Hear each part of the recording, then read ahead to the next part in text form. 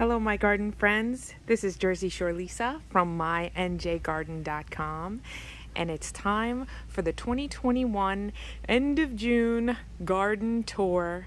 It's the side yard. Now, I've done a couple of videos back here in the side yard this summer to show you specific garden beds or specific plants, but I wanted to give you a quick overview of what I have happening over here on this side of the yard.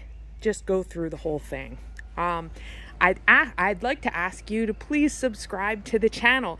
MyNJGarden.com has frequent updates, and I'd love to have you come along with me. So let's get started. This is a little bed that I built from scrap wood at the end of last year.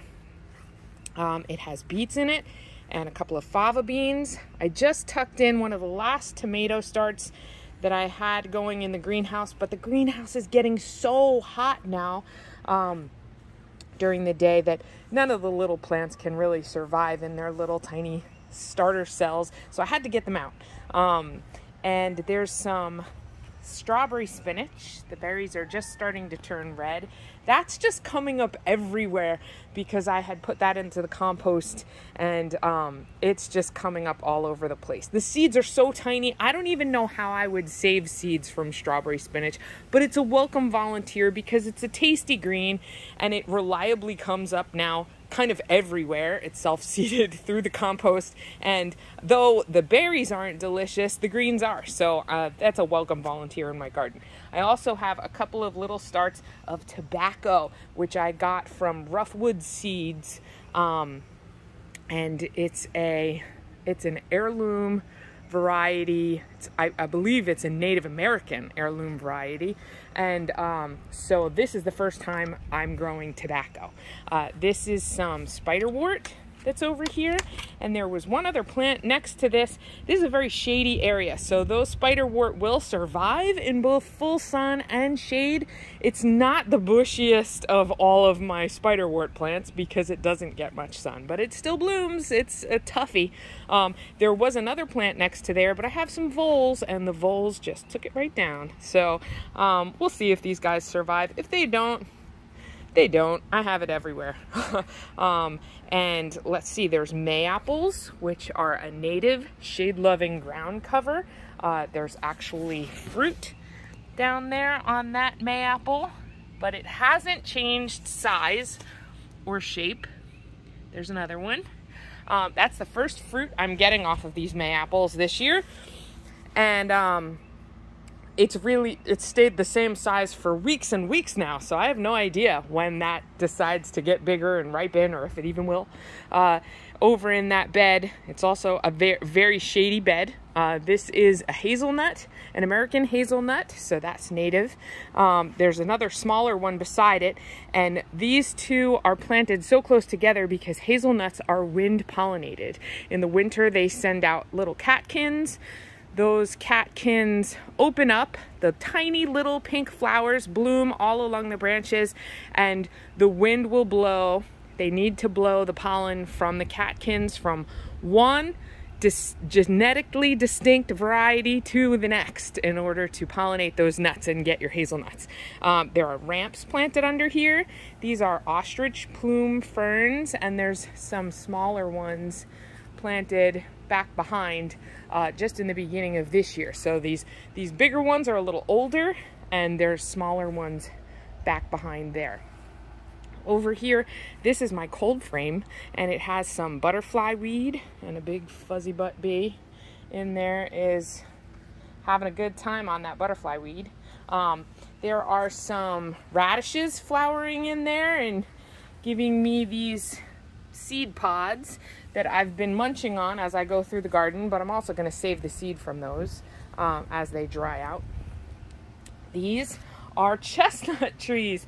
I took some chestnuts uh, from around the holidays last year and I just popped them into the garden on my way out to the compost bin with a bunch of other things I was going to throw in the compost and they're growing. So there's there's another one, chestnut, and there's that one. I also um, pulled out some brassicas that I had in here. I had some cabbages uh, and they had just gotten completely devastated by cabbage moths. So I didn't cry about it. I just cut them down and I put in a couple of more of the tomato starts uh, just this morning that I had in the greenhouse. So they're late now. They're they're gold medal tomatoes, um, and I did take a long time to put them in. So I don't know if we'll get tomatoes off of these guys. Maybe I'll get some really late gold medal tomatoes.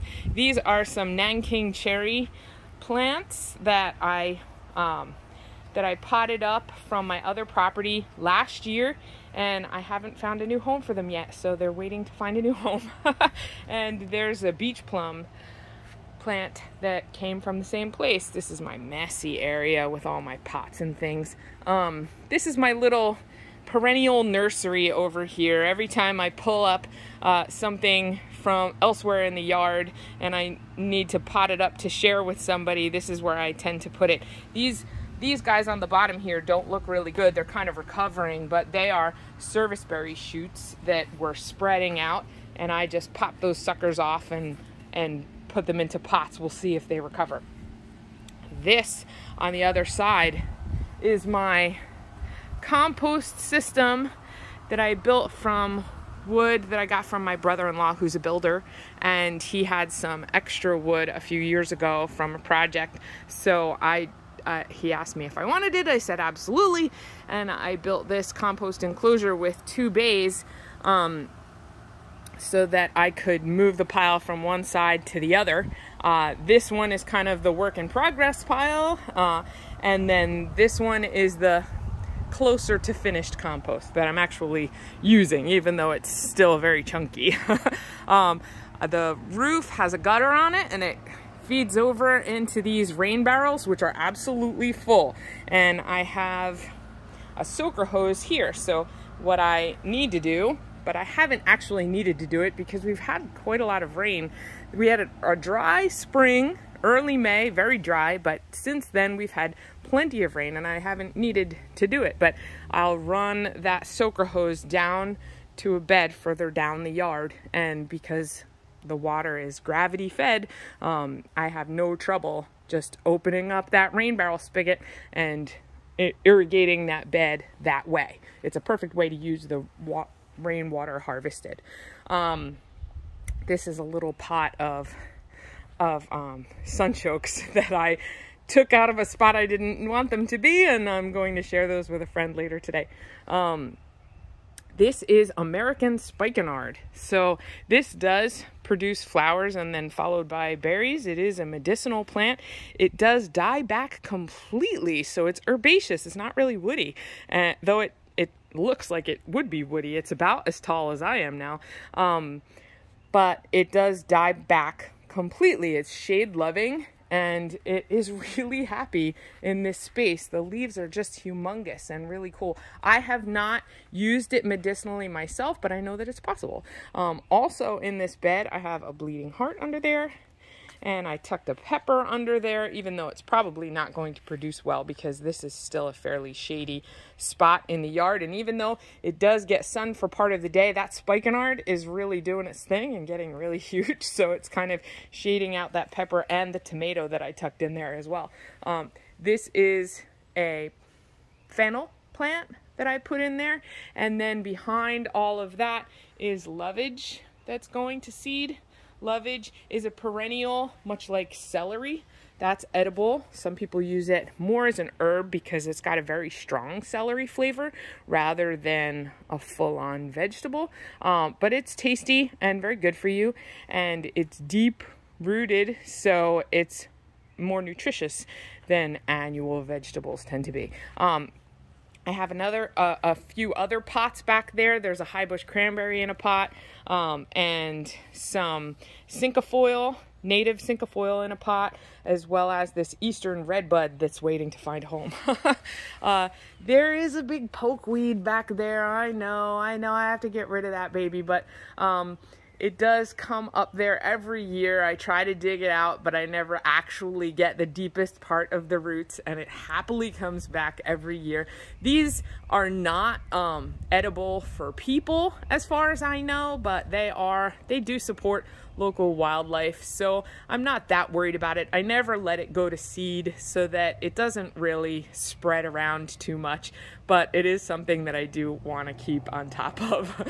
um, and then in front of it, that is uh, sweet pepper bush and it looks like it will be flowering for the first time this year. Sweet pepper bush uh, can be used to make, to turn the, the blooms, they actually lather when you get them wet. You can use them like soap. So, um, they can be used, made into soap.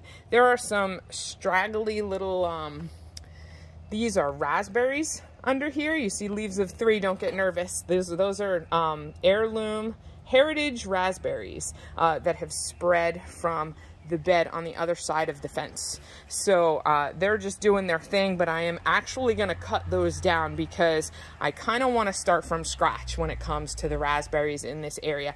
They hadn't been doing very well, and you can see they're really getting decimated by insects. It tells me that I need to do some soil improvement before I try to reestablish my raspberry patch. Um, and then in front here, we have this is an American ground nut, and there's another bit of it coming up there. So I just popped a tomato cage in so it had something to climb up. This is a perennial vine. It's in the legume family, and it has edible tubers, but it'll also come up with these burgundy bunches of flowers and uh, followed by little seed pods that will be about the size of lentils, the beans. So um, I'm growing those. I tucked those in. These never really thrive here, but they do come back every year. So I try and encourage them. I really want them to do well, and I'm not sure what I need to do to get them to do better in this space. If you have any hints for me, please share them because I really want groundnut to do well. I actually just love the flowers and I want to use them I, I want to create like a more of a ornate trellis system over here so that I can get them to travel up and around. Maybe it's too shady for them. I thought that they liked part shade because they're usually found uh, near streams and creeks in moist areas. And it does tend to be pretty moist around here because I do use heavy mulch. Now I'm go I've gone through the fence gate. This is the gate into the back area of the side yard. This is the front area of the side yard. So um, we're leading out into my front yard. Uh, so so this area is where I had the raspberries, the heritage raspberries, but they really weren't doing well. So again, I'm not gonna cry about it. I'm just gonna make changes. I cut all the raspberries down. There is some weedy stuff that's happening all through that bed, it kind of looks like sorrel to me because the the leaves are kind of that arrow shaped, but I'm not exactly sure what it is. I've just been pulling it and pulling it and it spreads via these underground thin roots that are almost like rubber bands. When you pull up that weed, they kind of snap back at you when they're they're not difficult to pull up, but they're kind of uh, rubbery and stretchy and you can see more of them on the other side of the bed. They're going to seed. So um, I pulled out as much of that as I could and I covered the area. Oh, I, I cut down all the raspberries. I covered the area with compost. And then I tucked in a few of those tomato seedlings that I still had in from the greenhouse. And I'm going to encourage them to happen this year. And if the raspberries start coming back up through there, so be it and I'll just try and keep this spot happy and healthy uh, right from the ground up. And we also have another couple of fennel there. Um, I'm hoping that with this application of compost um, that actually got nice and hot and then it's been I know that it's still very chunky and not completely decomposed, but it has been curing for quite a few weeks. So I think it's ready to spread. Um, and I'm hoping that it really helps to improve this area. This area is deep, full on sand. You, you, you have to understand that my yard is at the Jersey Shore. I'm in zone 7A in Ocean County, New Jersey. And you can see from this side of the yard how sandy it actually is here. It's basically like digging on a beach. So no matter how deep the mulch is underneath that mulch is sand. The, the soil is improving. I have no doubt. I have a few worms now where I didn't have any before, and it's getting better and better every year, but it's still something that I'm going to struggle with as far as being nutrient poor because the drainage is so good. So it really, the rain will just wash away those nutrients and leach them down into the sand. So I have to continuously apply. Um, Next to this area with the new tomatoes, um, we have a jostaberry, which is a cutting that I took from the other side of the yard. And the jostaberry is a cross between a gooseberry and a black currant. I love these berries. And this is only the second year that this cutting has been in the ground. And it's doing fantastic. I'm really happy with it. No berries on here this year. It did flower a little bit, but I know that by next year, this is going to give me some great berries. This back here is mountain mint.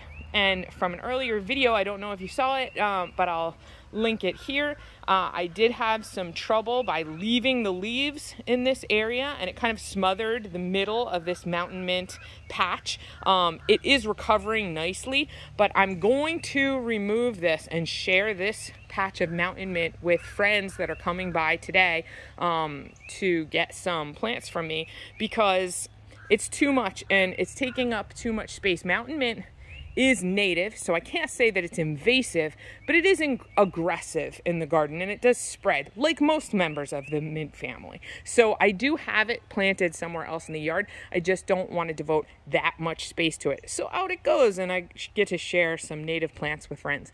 This is an anise hyssop and boy is it ever happy in this space. It's blooming beautifully and pollinators really love it. I saw a bee on it just before, but um, I don't see any on it now, but I do love the color of the flowers. They're so pretty. And I have a few strawberries running through this area. There's another little pepper that I tucked in there. And this is the medlar. A medlar is a small tree that's in the rose family and it has white flowers in the spring that just look like a single layer of of rose petals and then it's followed by these really interesting fruits. Now, um, these aren't going to be ready to harvest until the fall, but they you will actually leave them on the plant until they are very soft, what would seem to be overripe, and they should be a, kind of mushy so that you can basically eat them with a spoon and they will taste like spiced applesauce. I'm very excited. I've heard a lot about them and I'm looking forward to my first harvest of medlar. This is a royal medlar. And I got this plant from a seller on eBay or Etsy. I'm not sure which one. Uh, but this plant is probably uh, at least four years old now. Um, this is horseradish. And horseradish is such a substantial, lovely herbaceous plant. It's also a dynamic accumulator. Think of it like comfrey when you add it to the garden. It's not something you want to till around because like comfrey, if you get little bits of roots and spread them around the garden, boy oh boy, you're going to have horseradish everywhere. And it's kind of hard to get rid of once you have it. But I don't mind that because I love horseradish. So I like to dig up pieces of the roots and process them into a condiment for food uh, that we eat around the holidays. I actually eat it throughout the year, um, but horseradish is a great plant to have in the garden. It's it, except comfrey blooms for longer time throughout the season. Horseradish really only blooms in early spring, and horseradish flowers are delicate little white flowers that remind me of weddings for some reason. I just love them. This is butterfly weed, and that is part of the milkweed family. It is native here in New Jersey, and it is a um, it is a host plant for monarch butterflies, so that is definitely welcome in the garden. Beside it in a pot, I have a red twig dogwood. Red twig dogwoods will get very big when planted in the ground. They get to be about 10 feet tall and around. Um, they are more of a shrub, even though it's in the dogwood family. Uh, it's not necessarily, you could probably prune it into uh, a tree, a small tree if you wanted to, but they don't really like to grow that way. They're much more of a multi-stemmed shrub and they layer very easily. So um, I just didn't want to devote the ground space to the red twig dogwood in the garden. But uh, I am kind of struggling to keep this plant happy in this pot. It doesn't want to be in there. um, there's some more raspberries coming up around it because they are spreading out. These are native raspberries, so these are thorny. These are not the heritage raspberries, but they do not seem to be being affected by whatever was bothering the heritage raspberries further down the bed. So I haven't cut these down yet. These are doing okay. Um, on the other side over here, we have iris and a big patch of oregano that's spreading through here. This is probably the sandiest soil in the garden. I don't put much mulch right up next to the house because I'm concerned about having wood mulch very close to the house for termite reasons. So um, I do kind of put some compost through there, but it is pure sand underneath. But the oregano doesn't care. The oregano is doing real well. And this is um, pineapple sage. Pineapple sage uh, is doing well here and comes back every year, I think because of the microclimate created by the fact that this is the south wall of the house. It's nice and warm. If I did have pineapple sage out in the middle of the garden and it did not survive the winter, it it likes to be kind of right at the edge of zone 7 is where we're we, we have it surviving. I think it likes it here or warmer. If you're in a colder area than where I am in zone 7A, you might struggle keeping pineapple sage alive as a perennial. This is my asparagus patch and this is doing okay. It, it sends up some asparagus every year, um, but it did come up sporadically this year in that uh, some very thin, thin asparagus came up very early in the spring. And so I worried about it and I stopped harvesting fairly early. And then some really thick ones kind of came up that I probably should have harvested, but I didn't. I let them fern out. And um, you can see I have some weeds in that patch. I really need to maintain it and pull those weeds a little bit. But uh, it's still sending up new spears of asparagus throughout the summer. Um, and then let's go further down. You can see that I'm still working on my great big pile of wood chips that I got from a local tree service. And I've taken, I've, I've, I've gotten rid of most of them. Well, can't say most. Probably I'm through two thirds of the wood chips. I think I've been doing a good job. so that's what we're working on. Um, here's some more spiderwort and there's an aster behind it. Here, I know it's hard to tell, but I do have a raised bed uh, made from bricks, um, retaining wall bricks, and it kind of, it's pretty long it goes past the fire pit there. I usually put annual vegetables in this bed and you can see the, the four stakes that I have here are there for a, a, few tomatoes that I put in. There's marigold, there's some bush beans planted back there. There are actually three peppers put back there as well. Um, here there's a lamb's quarter. I know it's edible. Um, but I don't tend to eat them. Uh, there's French sorrel right there that's going to seed. I've been cutting that back. There's some perennial kale. Perennial kale, it is just growing like gangbusters, but it is also getting really, really taken by cabbage moth caterpillars that are in here. But um, that's okay I think that it'll survive. It'll it'll do okay, and I just need to come out and pick those puppies off of the uh, perennial kale. And you can see the tomatoes are flowering happily. Um, there's some escarole that's about to flower in here. You can see this escarole is flowering now. Uh, it's in the chicory family, and it's a delicious green in early spring. I love it fresh in salads. I love it cooked. And then when it goes to flower, when it starts to bolt, I'm just as happy because the pollinators really love the flowers. They are gorgeous color purple. They're like the color of asters, but they bloom during the summer where asters, I have to wait till fall to see that show. Um, there's some parsley in this bed, a lettuce that's going to seed, and black Simpson, black seeded Simpson lettuce. Um, and this fire pit has peppermint in it.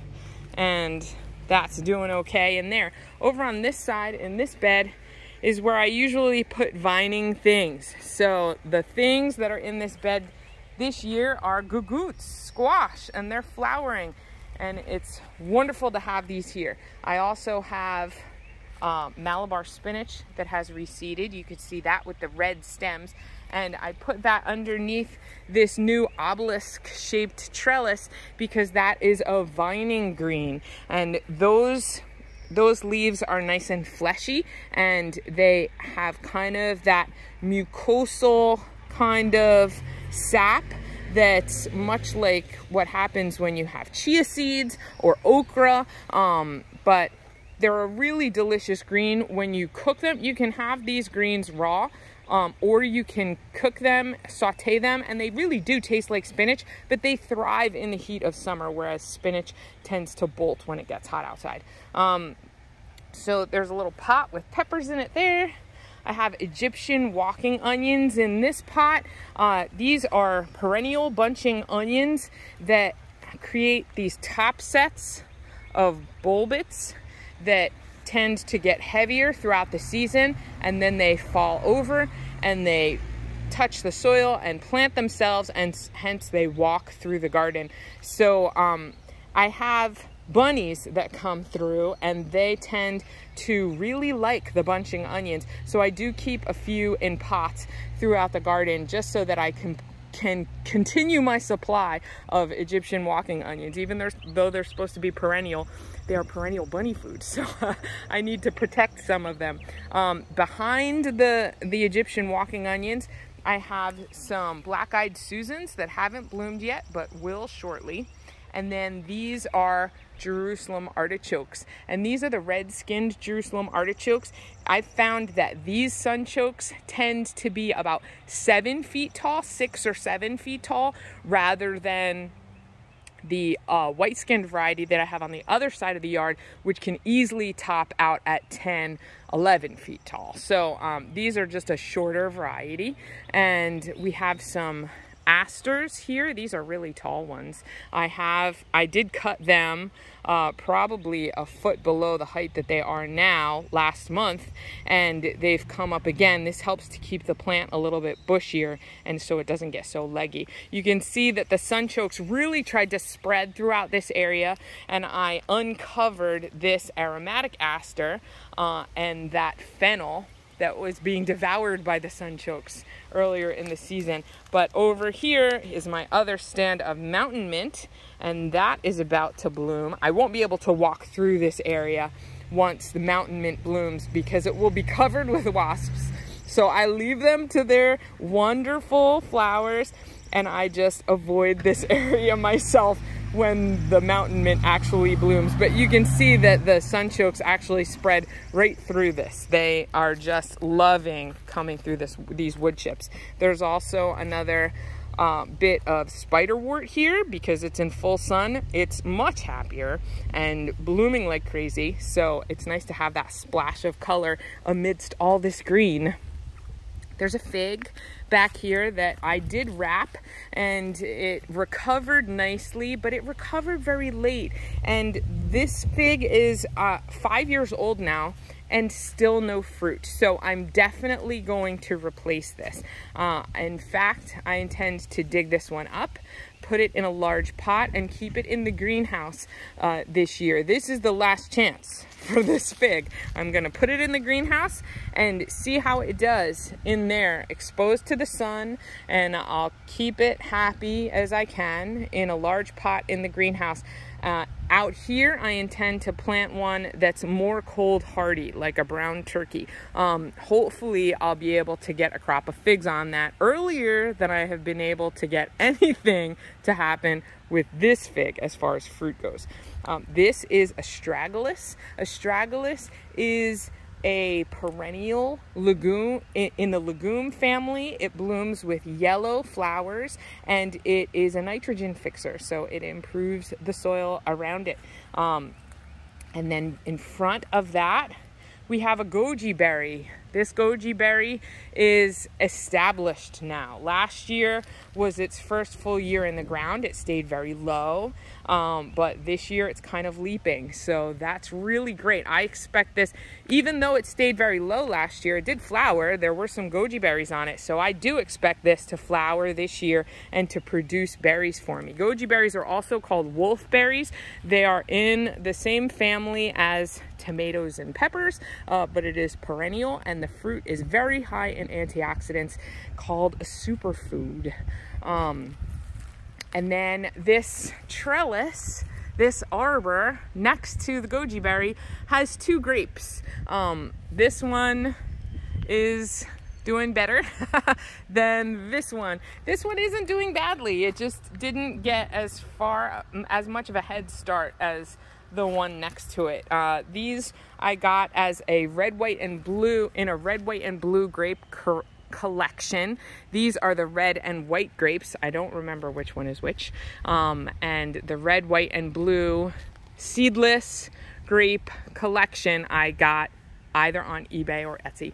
Um, this is a dappled willow that's in this little pot. I'm really just keeping this going. If I put it in the ground, this dappled willow could really get humongous. It could get really big. Again, I don't want to devote the space to a really huge willow uh, that's not going to produce any fruit for me. However, it's really valuable to have willows on your property because they produce a natural rooting hormone. So when I take cuttings from uh, plants that I'd like to root and share, I tend to put them in water and I add a few sprigs of willow to that water and it helps to produce some roots for me so I can get them going. So that's why I like to keep a willow going even if it's not going to be this 20 foot tall plant. uh, we have some daylilies in the front of this, um, of this planting. And then over on the other side here, I have this pomegranate that I also covered in the winter. Now, a much larger bit of this was present just a few weeks ago and it had leaves all over. It was doing really well. And then all of a sudden, a big section of that pomegranate just died back. And I don't know if it had to do with voles going underneath and eating out from under it or what, but I just cut that part of the plant out and the rest of it looks do- like it's doing pretty well. But it never recovers in time to flower or fruit. So what I intend to do is this fall, I'll dig that up, I'll put that in another large pot and that'll go in the greenhouse over the winter as well. And then I'll put something else in this spot because this is a really sunny spot. Um, but those same, those same weeds from the other side by the uh, where the raspberries weren't doing well are taking over this as well and they really spread aggressively. So I need to be on top of it and clean this section out. Over here we have hibiscus this is a native hibiscus and this plant just becomes humongous it really becomes overwhelming loves this area loves the mulch loves the full sun and spreads like crazy. So this is something that I tend to manage. I cut back what I don't want because right underneath it is a rhubarb and this the rhubarb leaves are just humongous. That's really happy there too. It's just too close to the hibiscus. So I might actually move that a little bit further away in the fall to give the hibiscus a little more room because the flowers, once they bloom, they really are so impressive. They're so pretty. Um, there's some irises behind it and there's a big pot that I've just tucked three eggplant into. Um, because that's what I had to go there.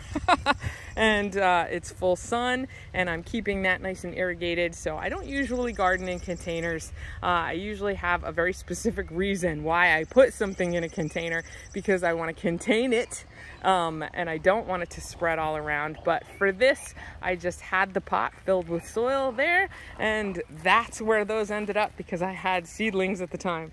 And this is canna lilies. This is a red-leafed canna lily.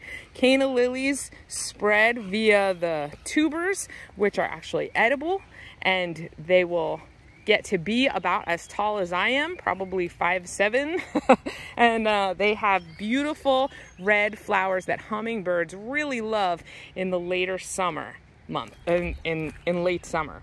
Next to that, there's prickly pear cactus. This is New Jersey's only native cactus, and these yellow flowers bloom for one day only. Uh, these are edible.